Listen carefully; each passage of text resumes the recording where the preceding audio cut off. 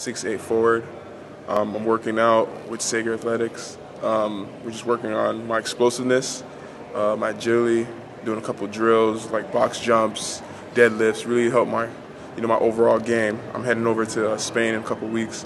Uh, team Venta de Baños, really looking to really show out a lot of my skills and my attributes. So what we're doing is the stuff we're doing in the gym and on the court, really trying to help us out, help me out personally, and make me a better player.